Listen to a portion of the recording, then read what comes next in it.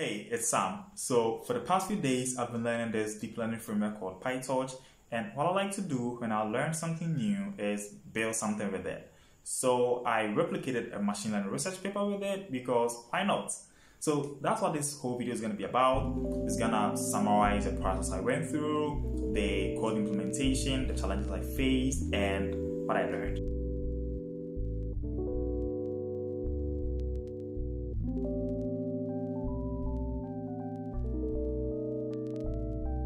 So I'm already familiar with another deep learning framework called TensorFlow, and I know there's this whole debate on TensorFlow versus PyTorch, but I don't really want to get into that. Personally, I use TensorFlow and its high-level API Keras and I want to quickly prototype, build, and deploy machine learning models. So enough of that, let's move on to the main objective.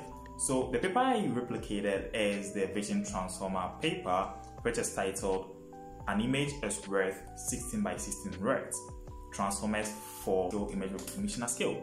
So, like the name suggests, the Vision Transformer architecture was designed to adapt to the original Transformer um, architecture to vision problems. So, what exactly is this Transformer architecture?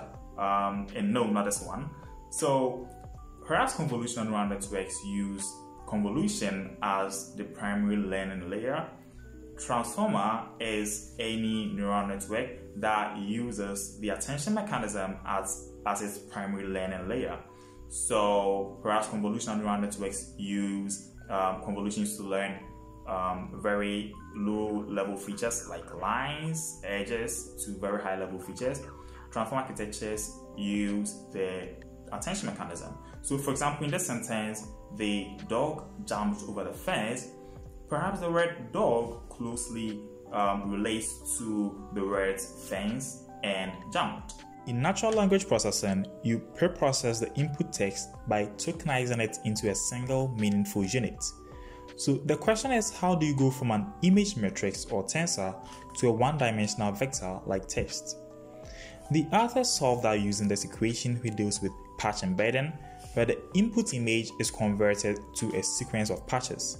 Then using token embedding, the patches are converted to fixed dimensional feature vectors, also known as tokens. Interestingly, this can be achieved using the convolution operation in convolutional neural networks. Finally, position embeddings are added to retain positional information so that the architecture knows what order the patches come in, as in part 2 comes after part 1 and so on. Together with token embedding and position embedding, the Vision Transformer model is able to effectively learn representations that are suitable for downstream tasks. Okay, we've represented our input data as an embedding. The next part of the architecture is a transformer encoder, which consists of stacking together equation 2, representing the multi-head attention, and equation 3, multi-layer perceptron. Equation 2 represents a multi-head attention wrapped in a layer norm or layer normalization layer with a residual connection. The multi-head attentions task is to calculate which patch of an image is most related to another patch, eventually forming a learned representation. And the task of the layer norm is to reduce the data samples into a smaller distribution. And finally, the residual connection where the input to the layers gets added to the output of the layer. In equation 3, the multi-layer perceptron can refer to almost any combination of multiple layers, and it follows a pattern like linear layer, nonlinear layer, linear layer, nonlinear layer. And the nonlinear layer used is the Gelu nonlinearity. Equation 3 can also be replicated with PyTorch as follows. Finally, we have created equation 2 and 3 and we can go ahead and create our transformer encoder by using a series of alternating layers of MSA and MLP blocks. Okay, that's it.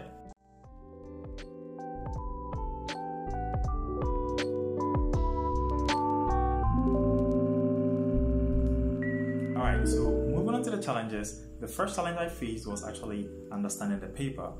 Most research papers contain technical jargon, so you won't actually understand it when you read it for the first time. You might want to reread it to get a grasp of what it all means.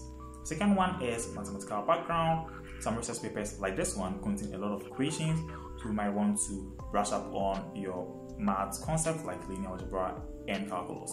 Second one is implementation, which required that in order to implement these equations, I needed to learn PyTorch, which I did. And the fourth one is computational costs or computational resources. I tried running this code on my laptop. It crashed for a couple of times and I moved to Colab. Um, yeah.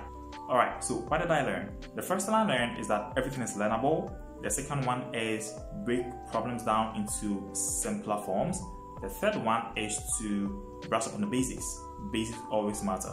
Alright, that's it for this video. I hope you enjoyed watching it as much as I enjoyed making it. This was a whole lot of fun. See you in the next one. Thanks for watching. Bye bye.